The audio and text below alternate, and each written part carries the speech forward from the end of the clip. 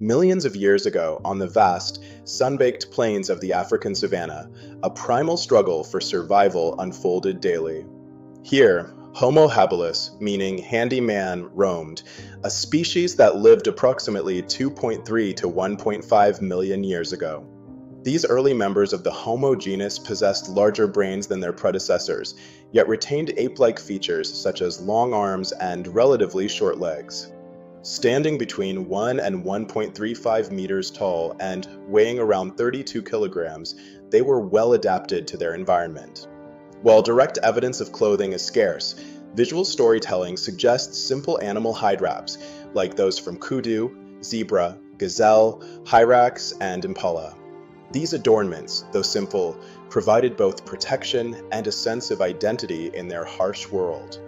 The savanna itself, characterized by grasslands and scattered trees, was a vibrant ecosystem, much like the Serengeti of today. Homo habilis were likely scavengers, supplementing their diet with meat, a crucial source of energy for their active lives.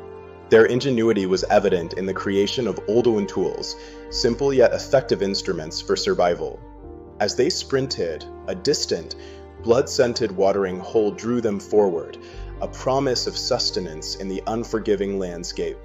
Circling high above, vultures served as a grim indicator, their presence signaling a potential food source, a testament to the cycle of life and death. The urgent pace of their run, the rustle of hides, and the vastness of the savannah paint a vivid picture of their daily existence. This was the world of Homo habilis, a world of constant movement, keen senses, and an unwavering drive to survive.